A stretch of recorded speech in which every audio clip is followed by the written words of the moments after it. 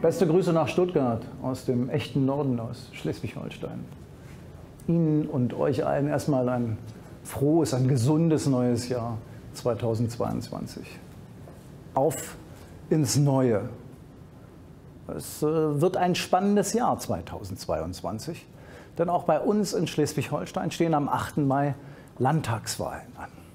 Und wir haben uns hier im Norden einiges vorgenommen. Wir wollen das beste Wahlergebnis in der Geschichte des Landesverbandes machen. 2009 hatten wir 14,9 Prozent. 15 ist also die Vorgabe. Das ist eine Herausforderung, aber es ist auch machbar. Denn wir sind hier seit viereinhalb Jahren als Freie Demokraten Mitglied einer Jamaika-Koalition.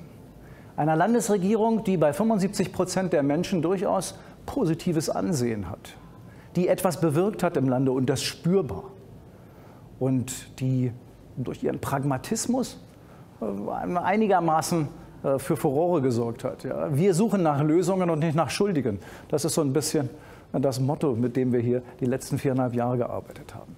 Vor allem aber sind wir gut durch die Pandemie durchgekommen und das haben wir einem liberalen Gesundheits- und Sozialminister zu verdanken. Schleswig-Holstein ist besser als viele andere Bundesländer, was die Inzidenzen und die Situation in der Pandemie angeht, durchgekommen. Vor allem aber hat uns kaum jemand zugetraut, dass wir im Infrastrukturausbau so stark vorankommen würden. Nicht nur was Landesstraßen angeht, was Schienen und Radwege angeht, sondern vor allem was den Digitalausbau angeht. Fast 60 Prozent unserer Haushalte in Schleswig-Holstein sind ans Glasfaser anschließbar.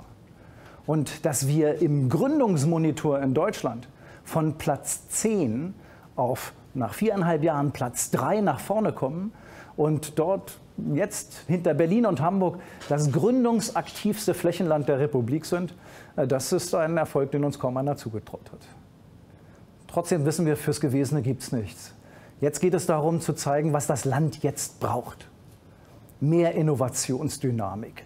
Wir brauchen weiter Druck auf dem Infrastrukturausbau. Wir brauchen eine Exzellenzinitiative in der Bildung, nicht nur in der Allgemeinbildung, sondern vor allem in der beruflichen Bildung. Und wir brauchen die Modernisierung und Digitalisierung der öffentlichen Verwaltung. Viel zu tun. Auf ins Neue.